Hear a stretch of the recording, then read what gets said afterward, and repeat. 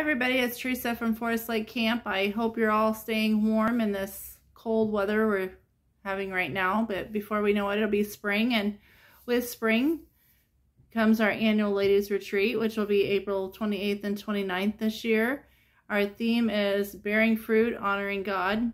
Our theme verse is Galatians 5, 22 and 23. But the fruit of the Spirit is love, joy, peace, patience, kindness, goodness, faithfulness, gentleness, and self-control. Against such things there's no law. As always, we have a exciting time planned for you with lots of good food, crafts, lots of time of fellowship, learning from God's Word, and just enjoying the weekend together. We hope that you can join us.